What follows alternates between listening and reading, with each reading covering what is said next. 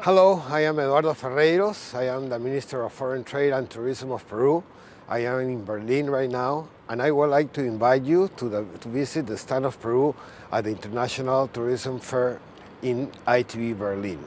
Together with our Peruvian co-exhibitors, where we will showcase the wonders that Peru has to offer to the world. History, biodiversity, nature and gastronomy, and of course, first-class tourism services. We are waiting for you Welcome.